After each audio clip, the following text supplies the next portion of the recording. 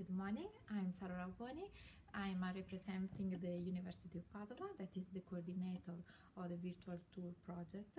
It is a, a European uh, finance project by the European Commission.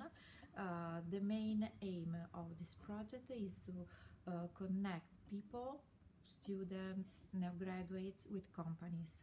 Uh, we would uh, allow students with uh, a new tool, a new instrument, a new platform that um, help them to to know to have a better understanding of the companies.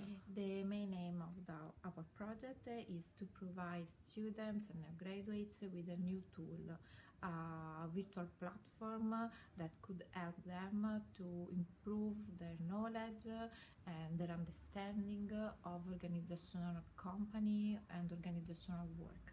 To help them to uh, making contact with uh, enterprises, with companies, uh, with possible employers. And uh, we will involve the real companies uh, and uh, we will enable companies to explain students and future em employee to understand what they do, how they do that, what they produce, what competencies they uh, need from future employees.